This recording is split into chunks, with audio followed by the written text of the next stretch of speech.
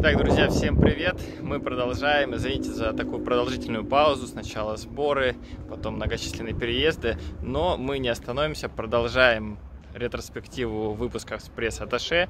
И сейчас у нас Мурат Латипов, экс-пресс-атташе Махачкалинского Анжи, но он работал и в сборной России, поэтому большая часть беседы будет посвящена именно этой теме.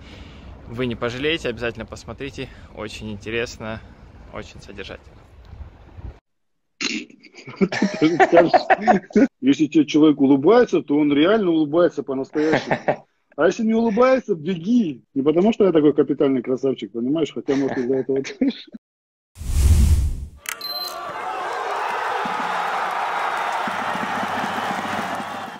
Итак, добрый вечер. Это очередной выпуск вечернего Маташе, можно сказать, или, как мы называемся, от Аташе слышу. И сегодня от меня будет слушать Мурат Латипов, известный и в прошлом, и в настоящем, и в будущем, я надеюсь, журналист. Здорово, Что, с первого раза? А я, что? наверное, должен тебя называть Мурат Ахгубекович, очень вот сложно ты, произносимое. Прочитай еще раз, пожалуйста, сообщи это отчество. Мурат Ахгубекович. О, сейчас молодец, да. Давай, давай просто по отчеству, хорошо? Ахгубекович? Хорошо. Тяжело тебе будет, давай по имени. А, кстати, в Анжи тебя не называли так? Э, Все-таки принято по отчеству в футбольных клубах, нет? Нет, я бы говорили, слышишь ты, сюда подойди-ка, вот так. Вот, но я хочу сразу сказать, что я бы, наверное, к тебе на «вы» обращался, но ты разрешил на «ты», поэтому... Я не то, что разрешил, я категорически требовал. Ну, прекрасно. Извини, я по традиции чай буду пить, поэтому... Да не вопрос. Я, если честно, даже ничего налить себе не успел. И вот первое, что хотел бы спросить, были ли у тебя какие-то кризисные ситуации, когда ты был пресс-атташе, а, о которых ты, может быть, сейчас можешь рассказать, и как ты их вообще разруливал? Что, манжи? Да. Ой, они были постоянно. Ну, не секрет же, что нас там за выскочек считали и постоянно пытались, начиная от той самой истории, когда мы играли э, на стадионе Локомотива, и там весь просто, весь матч там, опускали болельщики Лока нас, там, начиная от самых добрых слов и заканчивая самыми добрыми словами.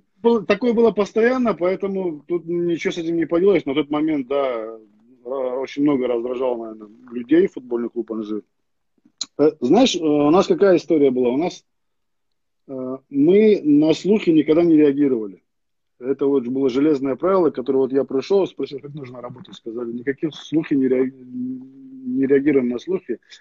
Всегда самая официальная информация, и, естественно, все, прежде чем она доходила там, до болельщиков и, и коллег, там все по пирамиде от руководства и вместе. Да. Но основная задача, основная задача на критику отвечать с улыбкой. Ну, а юмор какой-то вы могли себе позволить? Э, ну, ну да, да, да, вот, вот ты слышал не раз, да, наверное, все болельщики слышали, там, русские вперед. Да, да, на да. стадионах кричат же русские вперед, правильно? Ну вот на, на, наши креативные болельщики из дикой дивизии, там еще из других э, фирм, э, они вывесили баннеры «Русские вперед», и на баннере были там Смолов, Жирков, остальные русскоговорящие игроки Анжи. То есть, вот так мы старались отрабатывать. То есть, если нам кричали «дурак», сам, сам дурак мы старались не говорить. Ну, смысла нет, это, это ввязываться. Давай начнем все-таки с того, вообще, как ты попал в спорт. Я знаю, что по образованию у тебя вообще финансы и кредит, и как ты попал в журналистику, а, что Случайно, приходилось кому-то заносить? Как, как всегда, случайно. То есть все, в большинстве случаев все это случайно происходит. Это еще с вуза. Просто мы э, делали выпускные вечера для тех, кто был старше выпускников. Ну, они, естественно, нас потом приглашали к себе, там, в узкий круг. И я там отрывался. А однажды был там оператор из телевидения, они пригласили, чтобы он подснял, а он да. думал, что я выпивший. Я говорю, старик, нет, я не пью. Он такой, о, слушай, а хочешь попробоваться у нас? Я говорю, давай. А вот там это с 90, я не помню, с 95-96 года я вот попал первый раз на телевидение. Ну, я вел там э, рубрику «Альма-Матер». В программе а. «Нет проблем». Но это была топовая программа. Не «Альма-Матер», а «Нет проблем» была топовая программа.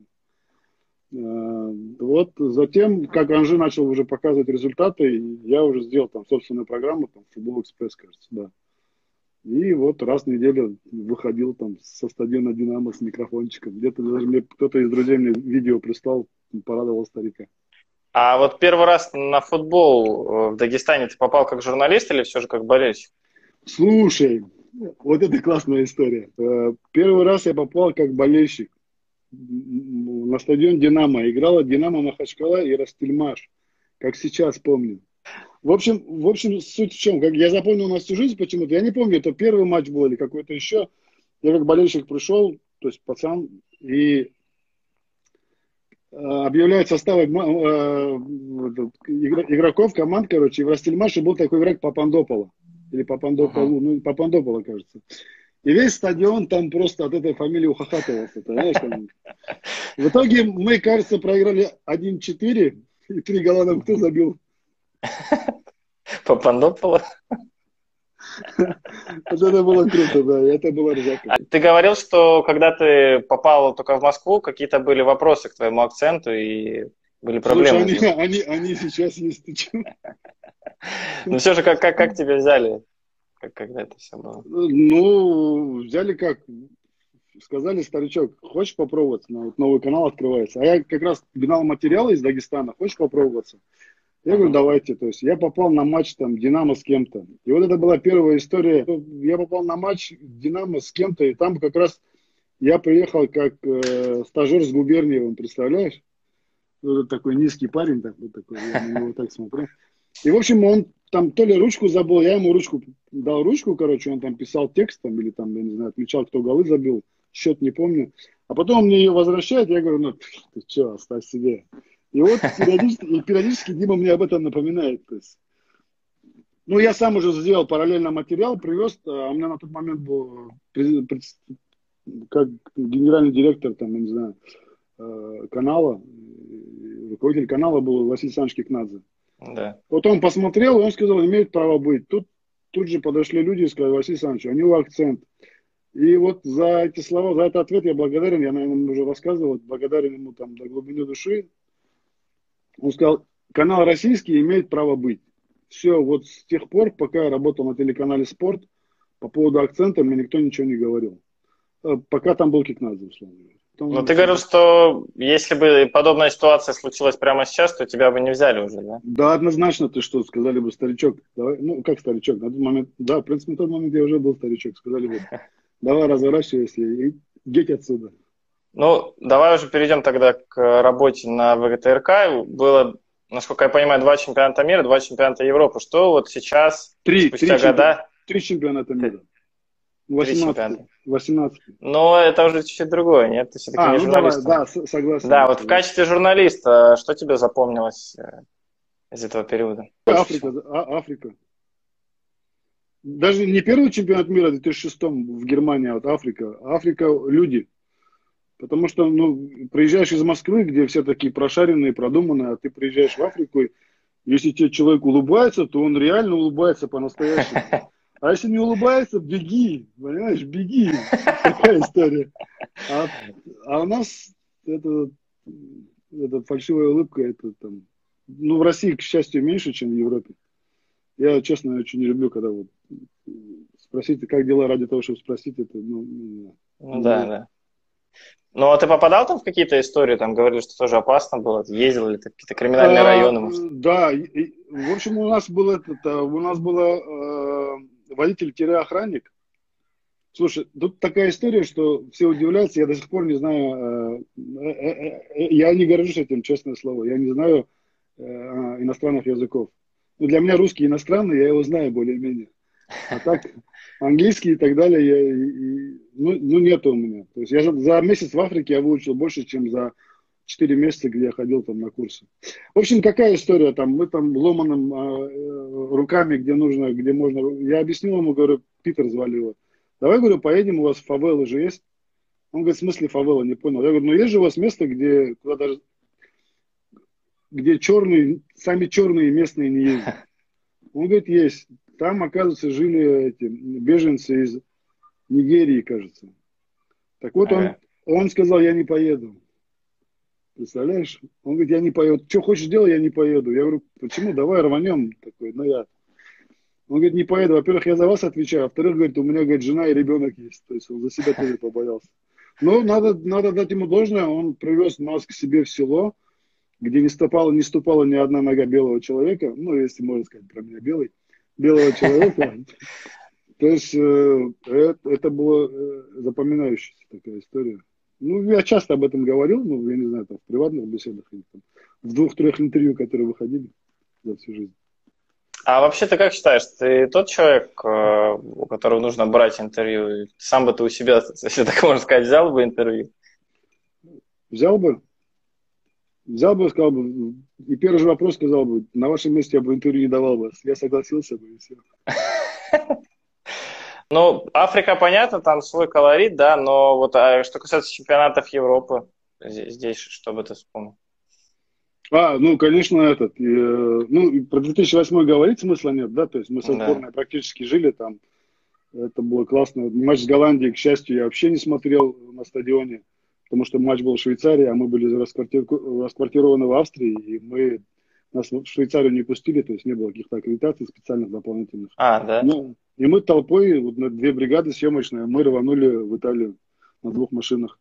И мы матч ага. Россия-Голландия смотрели в какой-то таверне итальянской. И потом, насколько я помню, там наш Вячеслав Медведев, у нас оператор есть, монстр просто, вот, капитальный. Он так радовался, что я даже, я даже сам удивился. Думаю, неужели так можно радоваться, понимаешь? Он... И потом нам там всем аплодировали, то, что мы голландцев там наказали. И вроде даже там что-то от себя, потом еще и хозяин ресторана что-то что от себя сделал, какой-то презент. А голландцы как... были там в этом ресторане? Не, не было. Да там практически, там э, то ли Триест, я не помню, город. Короче, где-то там народу было мало. Ну, это и Италия, все, наверное, тоже по телевизор смотрели. Ну, кому интересно было Россия, Голландия? А в 2012 это, конечно, то, что я на чемпионат Европы вообще попал случайно. Не хотели брать из-за акцента уже новое руководство. Я поехал как редактор спасибо некоторым людям, которые меня туда пропихнули, скажем так.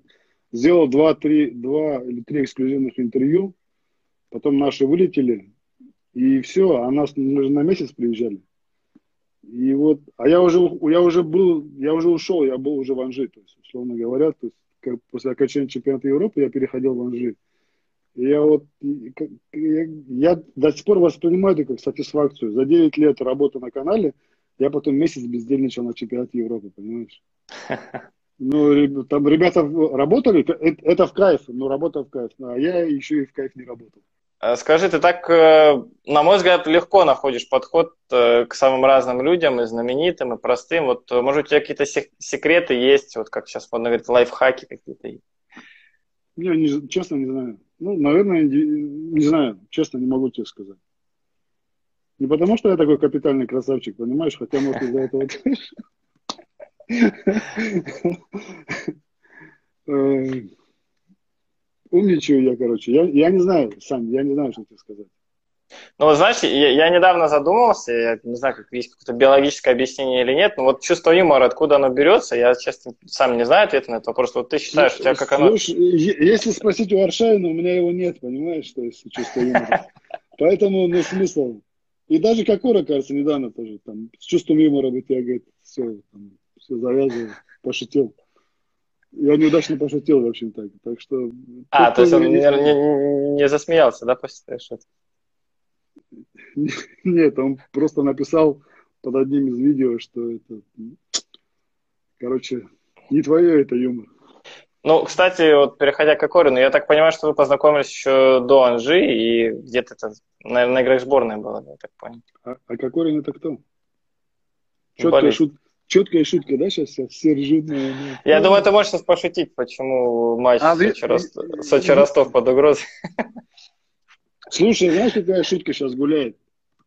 А, матч Сочи-Ростов специально, короче, э, внутренние органы специально отменили, чтобы Мамаев с Кокориным не встретились и Сочи не разнесли, понимаешь? Это... Ну вот давай все-таки про Кокорина. Как ты говоришь, шутки шутками, но как, как вы вообще начали общаться? Я тоже, когда ты приезжал к нам в расположение команды, заметил, что очень хорошо у вас Да, мы просто, мы просто друзья по переписке, понимаешь. Он сидел там, я ему там писал, он мне отвечал. Я говорю, чай есть нормально? Он говорил, есть. Так что... Не, ну, конечно, я и раньше его знал по сборной, там, махровые годы. А потом еще он же в Анжи у нас был. Правда, да. в, Анжи, в Анжи у нас он был всего месяц, нет, два месяца. А, ни, ни один матч не сыграл, он там восстанавливался после травмы. Насколько я знаю, зарплату за один месяц получил, так что этот Саня поставится там было бы неплохо. А ты, кстати, не участвовал в переговорах? Не ты его звал в Анжи, нет? Это вот, это была хорошая шутка, да. Это сейчас было мощно. Нет, не ты? Не-не-не. Всяк сверчок знает там, как там, свой шесток. Но когда он пришел, он, он, он как тебя увидел? О, Мурат или, или, или не было? Не, он не сказал ему, о, Мурат. Да я не помню, Сань, ну, ну, ну я не помню реально. Ну, сколько, 10-7. Я же его знал и раньше, понимаешь. И я не помню, когда ага. первый раз там этого увидел. Ну, нет памяти. Я помню, как я Карлоса увидел, потому что я его встречал. Там, да, вот давай про это расскажем. То есть более-менее понятно, как ты там в Анжи попала. Вот... Ты думаешь, кому-то это интересно? Не знаю, мы тут голосование пока не можем провести. Давай, знаешь, то есть ты, может, про встречу Роберта Карлоса не так интересно. Давай, а, если ты не против, про его детей. Были какие-то шутки там? Про, про детей шутили, конечно. У нас... Я даже помню, что э, на один из сборов э, приехала жена, или, или привезли его ребенка. И нам mm-hmm. запрещали снимать его. Потому что то ли он официальный, то неофициальный. Я не помню, конечно, это было. Но запрещали снимать. Но потом он где-то Потом эта информация уже всплыла, и сейчас я об этом чуть не можно говорить. Ага. Было такое, приезжал внебрачный сын его. А он ну, всех их знал, то есть он, он всех знает, кто где живет, там, да, с ним в контакте? Ну, и насколько я знаю, он тут все с ним же живут, кроме вот одного, ага. кажется. Ну, я, честно, я давно уже не было общения, угу. я не знаю, я не знаю. Ну, а от общения вот э, с такими величинами футбольными, как Роберто Карлос, Самуэль То, у тебя вообще какие впечатления остались, что тебя, может, поразило в их поведении? Да, ну, это два разных человека абсолютно. Робик типичный бразилец, такой кайфарик, получающий удовольствие и от жизни, и от футбола, и вообще от всего, мог, что угодно мог выкинуть. А Сэм, он, он другой, ну, он, он политик, да, такой. Он, он, как тебе сказать, он с любым человеком на любом уровне разговаривал с равным, как, как с равным. Он мог шестилетним ребенком разговаривать как, как с равным, и там с президентом клуба разговаривать как с равным. То есть он всегда знал, что сказать, как сказать, но он не зря был капитаном. Давай поговорим про Хидинга, я вообще не могу про него не спросить. Да, давай. А, ты рассказывал, что была какая-то ситуация, когда сразу после финального свистка ты начал его снимать, ему это не понравилось. Не-не-не, потом... чуть-чуть, чуть-чуть не так. Вот, вот команда, я не помню, то ли у ЦСКА, то ли у кого-то выиграла команда. А, и Хидинг первый ушел по трибунное помещение в раздевалку. И я оператору говорю, пошли, пошли, потому что кадров, где команда празднует успех, но там еще камеры будут. Я говорю, пойдем быстро, быстро снимем. И вот он сидит один, никого в раздевалке нет, и его снимает оператор, короче, и мистер поворачивается и говорит, вы что, говорит, меня снимаете? Оставьте ага. меня в покое, говорит. Вы что, говорит, может, вы еще, говорит, мои яйца снимете? Вот так вот. Я, у меня глаза на лоб, я от него не ожидал. А, я оператору говорю, а, да я говорю, ах так, короче. Я говорю, выключай камеру, поворачивай к стене, не снимай больше ничего. Ну, я, честно скажу, я обидел. Я не понял и, наверное, обиделся, так правильнее будет, да, сказать. Так честнее будет сказать. Ну, как так? Ну, команда выиграла, не проиграла. Там, то есть к нему близко никто не подходил, издали, снимали, а такая реакция. Ну, мистеру можно было. А в итоге потом у него была такая привычка, мы, мы в самолете, когда садились в самолет, он там уже все объявлял, что там, как, сейчас самолет взлетит, он проходился по самолету полностью. Да. От, начала до хвоста и обратно. Ну, я не знаю, привычка такая была. Так он шел, а я сижу с доктором, я так иду, вернее, он так идет, я так на меня опять посмотрел, он прошел, сзади мне кто-то по плечу долбанул в это время. Я так поворачиваюсь, смотрю, мистер такой, такой на меня смотрит, что, говорит, ты на меня обиделся? Я говорю, нет, мистер, не обиделся. Он говорит, точно? Я говорю, точно, мистер. Я тебя спрашиваю, точно? И улыбаться начинает. Ну, я тоже уже улыбаться начинаю. Я говорю, да нет, мистер, все нормально там. Все. Ну, меня отпустило, короче. Ну, молодец, давай, не обижайся, короче. Повернулся, я повернулся, и в это время как дал мне по спине еще раз. Ну, реально я не ожидал. Я на него смотрю, он говорит, смотри, говорит, не обижайся, короче. И ушел. Вот с тех пор, ну, ну как э, говорил мой, мой, мой коллега, мой очень уважаемый мной человек, Илюха Казаков, он, мистер проверял всегда. То есть он проверял, кто у него в команде. Вот он, он всегда такой, он вызывал на эмоции и проверял, что что. А как вот, что это, что ты значит проверял? Как ты можешь объяснить? Я вроде понимаю, но не до конца. Ну, ну смотри, вот известный тоже факт, там, вот этот, был конфликт там Жиркова и ЭТО. Мистер сказал, там, ребята, там, условно, там, в 7, там, в 7 часов вечера я вас жду в фойе, спускайтесь вниз. Они спустились, а он сам не пришел, он пришел позже. То есть, то есть он, он, он психолог, он там давал, короче, этот, вот, как тебе сказать, эмоции вызывал и вводил их в нужное русло, в правильное. То есть пока он, пока он пришел, они уже там э, Сэм с Жиром между собой разобрались, там руки пожали, то есть такая история. Но меня в это время не было, это мне рассказывали те, кто был в команде. Да, интересно. А ты можешь сказать, что ты чему-то научился в плане психологии какой-то? У мистера, да. Да.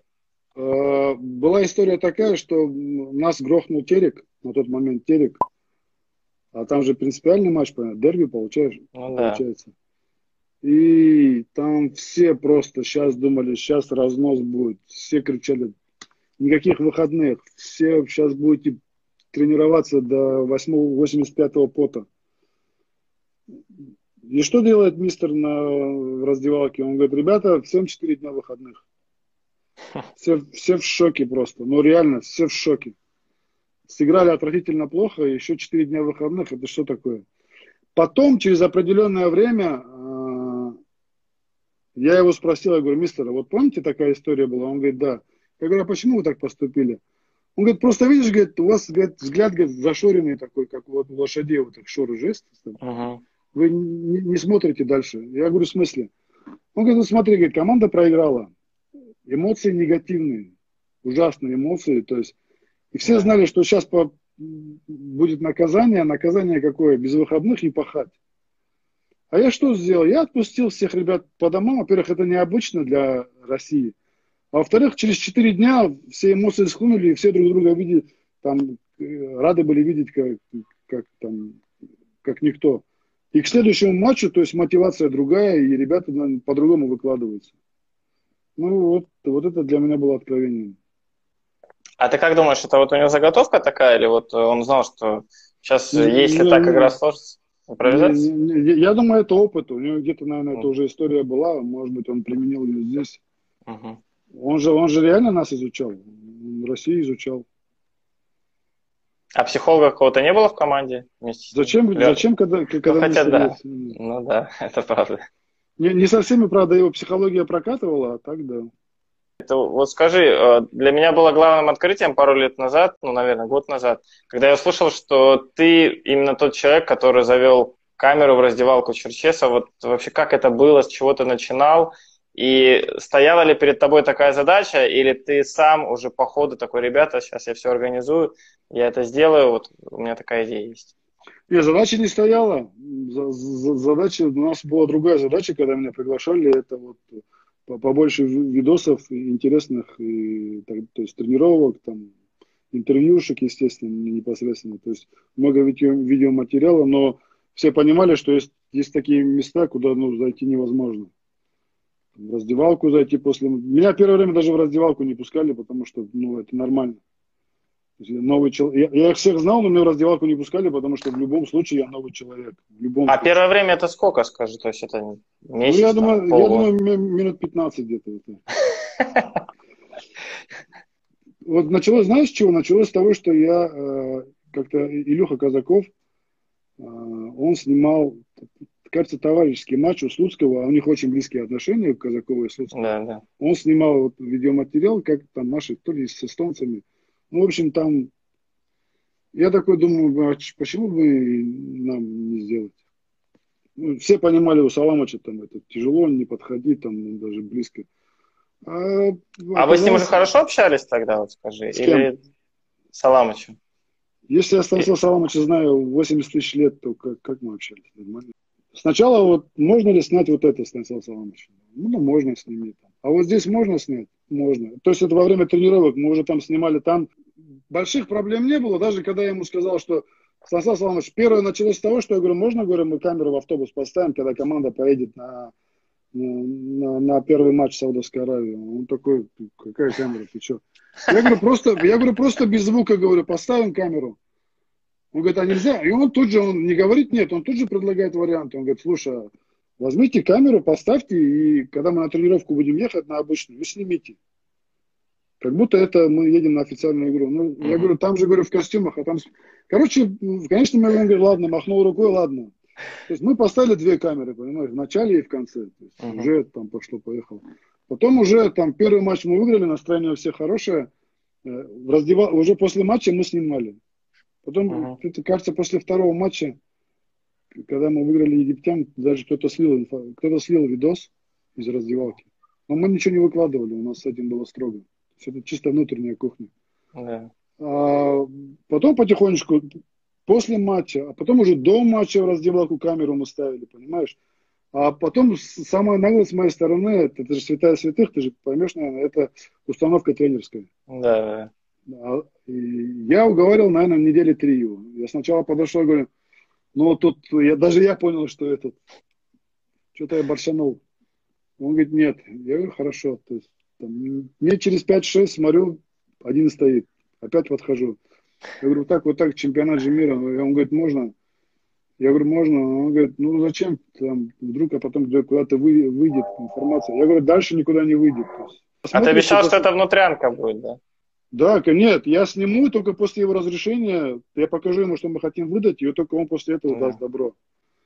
Он говорит, хорошо, то есть, ну, в конечном итоге я уговорил его, он говорит, только говорит, чтобы вас не было. Я говорю, хорошо мы две камеры поставили и вышли, и потом снимали, и все это было в эфире Матч ТВ. После, после э, Испании перед Хорватией.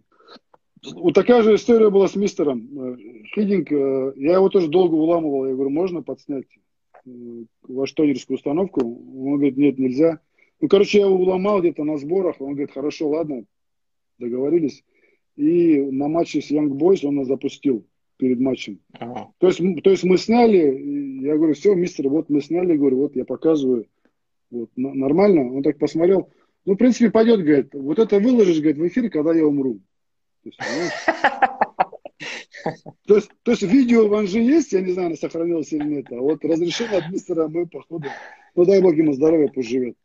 А еще потом мы даже выставили камеру э, перед матчем с Хорватией в раздевалку. То есть это, это, уже, это уже никто нам ничего не а говорил. А вот, вот скажи мне такой момент. Вот вы какой-то достигли какого-то рубежа, вот камера в раздевалку вошла. Ты в следующий раз ты спрашивал уже Саламыч, или ты просто ставил молча, что как бы уже можно? Я, не, мы, мы уже молча ставили. То есть он, он видел, да. что мы с камерой, он видел, что мы зашли. То есть я смотрел на его реакцию. Если он там да. сказал бы, там уберите, то есть мы, конечно, убрали бы, понимаешь? Да. Ну, ну команда была такая-то, она как единое да. целое была, ну реально. Но вы выходили, да, то есть вы ставили и уходили там? Конечно. Не, есть вещи, но это, это незыблемые. Туда даже если люди... Футболисты многие не знали, что там камера есть, потому что чтобы у них, у них голова была забита, должна быть забыта, забита ну, конечно, фут, да. футболом, понимаешь, а не, не камерами. И прежде а... чем выложить в эфир, все, естественно, просматривалось там, чтобы ничего лишнего не вышло. А бывали ли случаи, когда футболисты просили какой-то контент, а вот они знали, что там что было веселое, смешное, просили там Мурат, пожалуйста? Бо это постоянно. Ну, это же нормально, это постоянно. Ну, а как ты реагировал? То есть э, не было ли опасения, Я... что кто-то выложит то, что нельзя выложить? Нет. Или они... Все, нет? Все, все же парни понимали, что там ничего такого нету. И, и им же это не нужно выкладывать, то, что их там... Посмеяться вперед, а все остальное нет. Я слышал тоже, что после того самого матча с Хорватией в Сочи а, ты лично даже общался с Федором Смоловым, что когда он долго оставался на поле еще. Вот тебе чем вообще запомнилась та игра конкретно? А, были ли у тебя вообще какие-то эмоции после Вот ты скажешь тоже. Конечно, эмоции, конечно, были. Эмоции, особенно после, как э, Фернандо забил гол.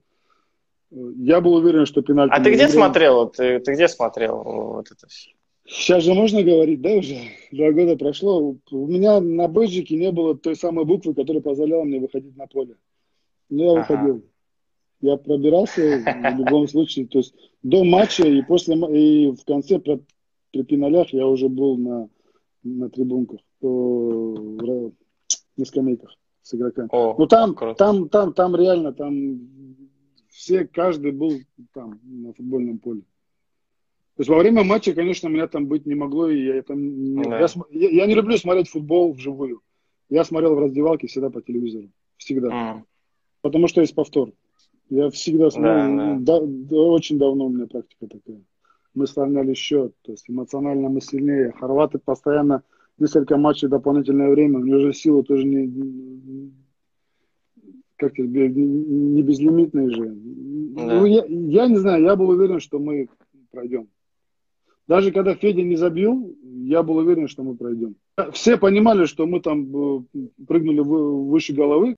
Давай так, скажем так, в раздевалке была гробовая тишина первое время. Это естественно после любого матча. Да. А, потом э, Федя встал и начал говорить там, парни, извините, короче, я там э, подвел. Все это мы снимали. Снимали.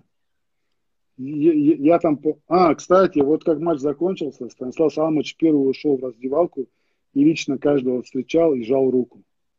Это тоже я запомнил. Да. А потом вот, продолжая тему, Федор начал говорить там, парни, там, если бы была возможность, я провел бы по-другому. И тут Акинфеев говорит, так, э, Федор, извиняться не надо, выигрывает команда и проигрывает команда. Ты не представляешь, какое воодушевленные слова для меня, для меня взрослого человека – вот, вот это была команда, да, реально капитан сказал, там, как, все выигрывают, все проигрывают. То есть не надо там кого-то индивидуально там, восхвалять или наоборот опускать. Это было круто. А поразил меня, конечно, Габа. Потому что Габулов, потому что он да. сел, и все это время, я там периодически голову тоже поднимал, там слезы вытирал, голову поднимал. Как сел в одно место, в одну точку уставился, он сидел до последнего так. Он ни с кем не разговаривал. Вот видно было, что он просто переживает до ужаса просто, что вот такая история произошла. А, кстати, вот в контексте переживаний, вот э, знаешь, про Артема Зюба очень много говорили после Испании, но вот после этой игры как-то ничего не было сказано. Как он реагировал, помнишь ли ты? Тема вообще красавица. Вот, эти, вот эта фраза тоже, я не знаю, было это в эфире, нет, но он сказал, там, всех поблагодарил, сказал, парни, спасибо, красавцы все. Э, там через сто лет будем вспоминать, как мы возили испанцев без мяча. То есть, все, все, то есть он... Я как-то спрашивал, я говорю, Тем, откуда все вот тебе все это, вот, вот эти шутки? Он говорит, я не знаю, они сами приходят. Ну, кстати, я тоже был на той игре. Только я смотрел вот э, из-за тех ворот, э, как раз куда били пенальти. Я был очень рад, что именно в те ворота пенальти били. Я вот вообще на своем месте этим не хвастался. Ладно, забыли. Смотри, у меня вопрос про то, что было сразу после матча. Вот что ты лично делал? Вы все сели куда-то в чартер и улетели, или вы остались в Сочи? А, а, я, я ушел э, в микроавтобус, потому что я не хотел, чтобы видели, как мои слезы. И затем пришел Вася, э, оператор, он сказал, тебя зовет Игнаш. Uh-huh. Встретились, и Игнаш говорит, я хочу дать интервью, то есть у нас была договоренность об интервью. Он, а Игнаш, он живет, как, и вот тогда он мне в камеру сказал, что завязывает с футболом, то есть он карьеру завершает. И мы все это выложили. За, за что ему отдельная благодарность, он свое слово сдержал. Конечно, все понимали, что это был успех в любом случае. Как бы мы не... Просто когда аппетит же проходит во время еды, но мы, мы реально же могли хорватов грохнуть. Да, могли, да. Все предпосылки к этому были. Просто не повезло. Вот реально, там повезло, здесь не повезло. А если бы, и абсолютно поголовно все говорят, что если бы мы прошли хорватов, то англичан, я думаю, мы, они нам были по силам. А там, глядишь, и... А Но поехали, вот... поехали в Новогорск, все остались в Новогорске, uh-huh. абсолютно все. Кто хотел, тот уехал. Но они должны были потом прийти на, на собрание. 12 часов дня, чтобы собрание у нас было на следующий день. То есть команду собрал. Это тоже мы снимали, понимаешь? Что Ну, мне кажется, что мы, мы поработали плодотворно. В плане, те люди, которые не, не телевизионщики, они не понимают, что мы сделали, но э, мы, то, что мы это снимали, нам это разрешило, нам, и нам это удалось, я считаю, что это успех. В, в плане телевизионном, потому что мы приблизились к иностранцам. Ну, давай ответим на вопросы. Поступило определенное количество. В Анжеле, в сборной тебя приглашали когда-нибудь футболисты там, на какие-то свои движухи, там, в рестораны, не знаю, но они в любом случае как-то досуг вместе. И, и, естественно, конечно. Я попал на свадьбу э, Загоева. Джеки, mm. Джеки Джаная, вот пример Джаная, все, ну, хорошо сос на меня там, я думаю, что он обиделся, но мы нормально, он, он приглашал на свадьбу, но это получилось так, что просто вот впритык там, на свадьбу прилетаю, я говорю, у меня не получается, приезжаю, короче, он говорит, приезжай, бросай все. Ну, короче, я не приехал. Uh-huh. То есть бывает такое, естественно. Ну, а ты со всеми кавказцами так э, легко общий язык находишь, или осетины? А осетины что, не кавказцы, что ли? Не, с ними легче, с осетинами. С... Да, да, не, нет такого. Uh-huh. Я, не, я же не разделяю э, осетин. Там, это, ну, Просто да, осетин в российском футболе больше, наверное, мне кажется. Ну да. Ну да. и что? При всей моей общительности у меня давным-давно сформировался узкий круг общения, из которого я не выхожу. У меня нет много близких людей, именно близких. Uh-huh. А общаюсь со всеми, приятельских отношений много. То есть, я же тебе назвал два-три человека, которые, ну, да. которые мне не симпатичны. У тебя в пресс-службе Анжи 11 человек было. Вот это правда? И, и Палил что, меня, да ты? Нет, э, не было 11, 7 человек было у меня. Был блок, который сидел в Махачкале, и который отвечал там за сайт, э, ведение сайта, за программки. Uh-huh. Есть, ну, там за сайт отвечало два человека, понимаешь? Там, Ренат, я, к сожалению, забыл второго парня, но вот у меня, вот, или Эльдар, оператор, у меня было два оператора. Монтажер, вернее, Эльдар, да. То есть мы, конечно же, далеко от «Зенита» были, но при этом у нас был лучше, чем в, чем в Краснодаре. А у вас был Нет. комментатор на сборах? Вот в матче показывали? Нет, комментатора не было. У нас такой еще темы не было тогда. Это сейчас модно любой матч. Да. У нас были домашние матчи, мы показывали, у нас были люди, которые комментировали. То есть мы э, матчи угу. дубля мы снимали с трех или четырех камер. У нас был вру я, видишь, видишь, хорошо напомню. У нас был в прямом эфире, мы показывали их на YouTube канале. А ты сам не комментировал никогда? Не, я, я не могу. Я сейчас, с тобой разговариваю, я сейчас с тобой разговариваю, слова подбираю, а ты говоришь это.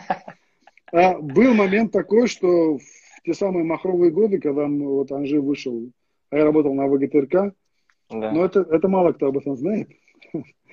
А, на ВГТРК а, из Питера прилетал «Зенит», и из Питера нам попросили трансляцию прямую. Для Дагестана это было нечто такое, уф, просто топище трансляция, прямой эфир не на Москву, а именно конкретно на Питер. И комментаторов не было, и мне сказали, ты будешь комментировать. Руководство сказало, давай вперед. Ну, я такой, я не буду. Он говорит, мы тебя не спрашиваем, будешь ты или ты не будешь. Ты просто, ты просто пошел.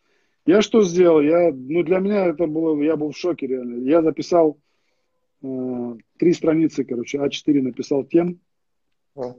Да.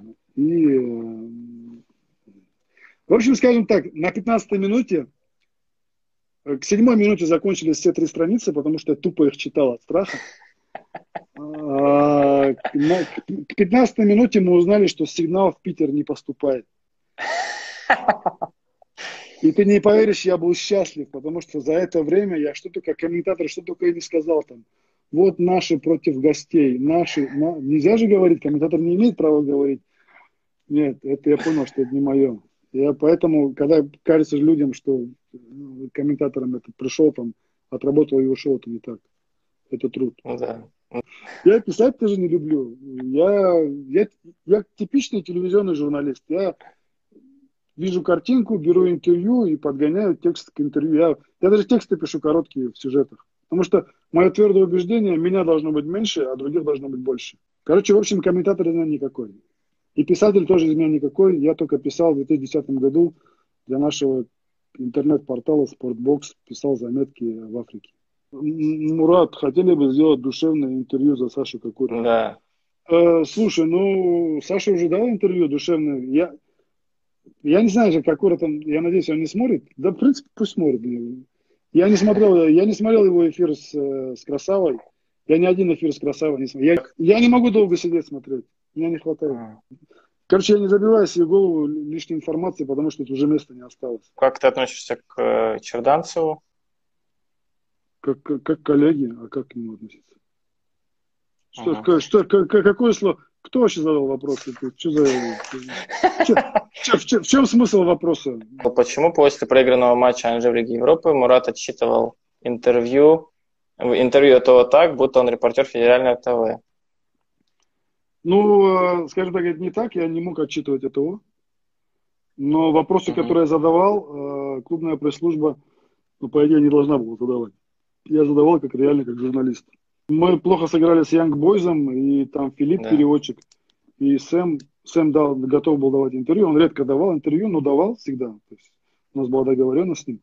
А, там, я говорю, там, вы плохо сыграли, почему вы так? То есть, он первый вопрос ответил, второй, потом говорит, Филипп, э, что-то я не пойму, Мурат сейчас с нами как кто разговаривает, как клубная пресс-служба или как журналист э, да. телеканала постороннего? Ну, я тоже не понял его на тот момент. Я журналист, я хочу задавать вопросы, задаю. Потом уже в самолете он подозвал меня, там сели, пообщались. И, в принципе, я не, ну, я, я не имел права задавать такие вопросы. Uh-huh. Я не должен был задавать. Я имел право задавать без камеры, скажем так. А с камерой не должен был. Дайте пару советов начинающему журналисту. Да, не бояться. Ну, реально не бояться. А чего ты боялся больше всего, вот, когда сам начал? Я боялся интервью. Угу. Ты не поверишь, но я боялся интервью. Я думал, что задать, какие вопросы задавать. Я загонялся очень сильно. И еще я категорически его не переваривал стендапы. Я, я, я боялся их как змей, этих стендапов. Как высоты боялся. Вперед. Не надо бояться вперед. Насколько сильно изменился российский футбол за последние 10 лет? В каком да, направлении конечно, сейчас идут эти изменения? Да, конечно, скорость во всем. Скорость в футболе, скорость мышления, скорость обслуживания матчей. Ты посмотри, ты сейчас никто не успеет там условно пукнуть, уже об этом все знают. То есть, ну, все, скорость. Намного изменился. Во всех компонентах, во всех. Как создавалась передача «Спортивный интерес» на телеканале Матч ТВ? Да. Вот ты много в личной беседе про нее говорил, да, давай немного. Ну, я, я реально, я кайфовал с программы «Спортивный интерес». Я не присутствовал при рождении ее, потому что меня туда позвали. Меня позвали на программу «Точку» Антон Альфимович. Сейчас он американец, и ему отдельное огромное спасибо за это, потому что он реально вел меня вот в мою новую семью. Вот «Спортивный интерес», я считаю, что эти два года пока нас не закрыли. Это было лучше, то, что было в Москве со мной после, ну, что касаемо телевидения, после продолжительного времени. Конечно, а почему закрыли? Я так ну, по, просто матч решил uh-huh. уже не финансировать эту программу и все. Ну, мы, мы, мы зачастую были впереди планеты всей. Все самое свежее, все самое мощное, все самое скандальное или не скандальное, все самое острое было у нас. У тебя не было мысли создать какой-то свой YouTube-проект, может быть, вот э, за время а, карантина, а, слушай, или телеграм-канал? Мы, мы же пробовали. Я честно тебе скажу, я, я слушай, ну я реально олдскульный. Я старпер еще тот. Я... К технике, с техникой у меня всегда были большие проблемы. Не, ну у тебя же есть э, коллеги, друзья, опять же, с кем то работал. Не, вот мы, мы открывали там э, YouTube канал Зло ТВ. Ага. ЗЗ, там по, по первым фамилиям, короче, там три человека было. Зло ТВ, э, там первое интервью я сделал с этим, с Хабибом Нурмагомедом, как раз когда с Фергюсоном отменился матч, бой. Тогда большое интервью. Ну, я, честно, да. я, я не знал, что это, это, YouTube это, это кладезь для воровства, я не знал просто, поэтому мы как-то... Ну, мы, короче, окунулись туда и поняли, что так нельзя. Потом второй был э, Макс Новоселов, тоже мой близкий товарищ, но очень известный такой Э, боец, очень известный, да. Он даже на рен у него своя, своя программа была. Ну, а что потом случилось? Что-то пошло не так? Ну, потому что, да, во-первых, э, деньги были свои, они быстро mm. кончились. Во-вторых, uh-huh.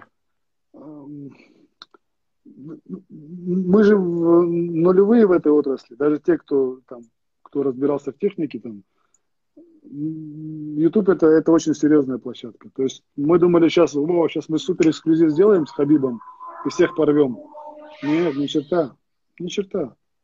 Да, там Хабиб разошелся на цитаты, там э, люди, которые там из 40 минут там, или часу взяли там одну-две минуты в эфир и пихнули свой канал, там, они набирали там по несколько миллионов просмотров, у нас такого не было. То есть мы там 300-400 тысяч просмотров набрали и все. Если ты к Блицу готов, давай тогда. Я не знаю, я готов я, я не могу. Устраивайся по поудобней. А так-то я сейчас на иголках, наверное, сижу, да? Ну, пока я на иголках сижу, у меня уже тут э, по 20 пропущенных сообщений не отвечено. Сейчас тебя, сейчас тебя уволят, ну его нафиг, давай, давай.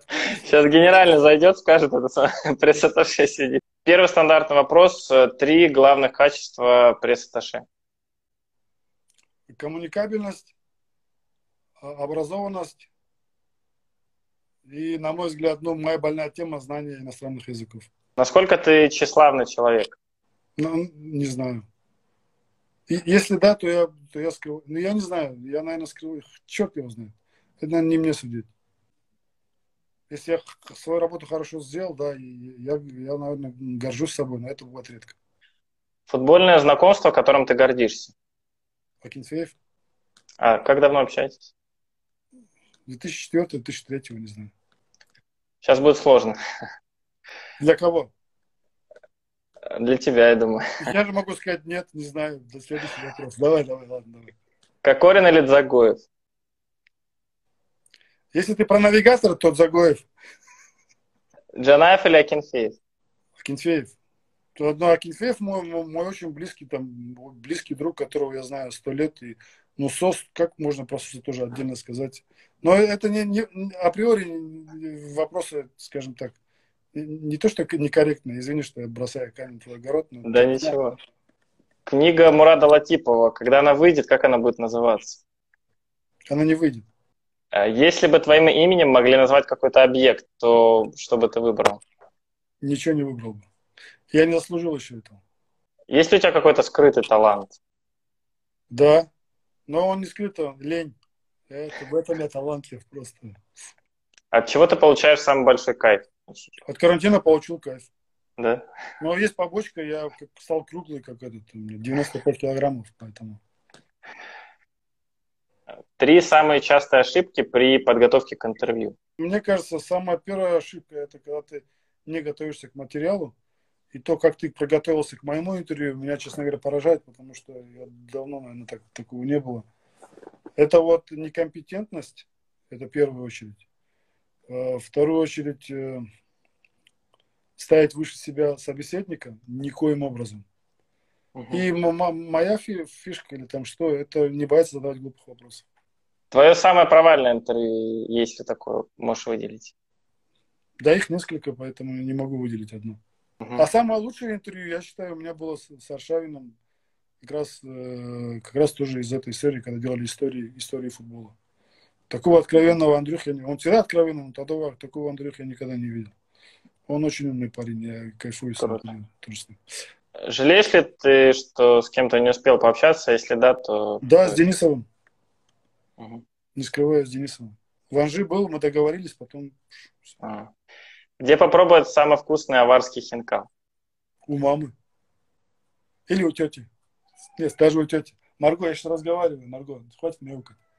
Чуду дагестанский или осетинский пирог? Слушай, я удивлю, удивлю, наверное, и ни то, ни другое. Да. Не шашлыки, не итальянская паста какая-нибудь итальянская, или, ну, естественно, чай черный. Удивил, удивил. Да. Ну и последнее, Мурат Латипов, это... Капитальный красавчик же есть. Слушай, ну, это обычный человек, ну, надеюсь, надеюсь. Ну, спасибо тебе большое. В заключение я... Всем спасибо, кто вообще нас досмотрел. Тебе сейчас тяжелой работы и легкого разрешения этой ситуации. Всем спасибо еще раз. Тебе удачи, бро. Давай на связи. Спасибо, спасибо. Спасибо за эфир.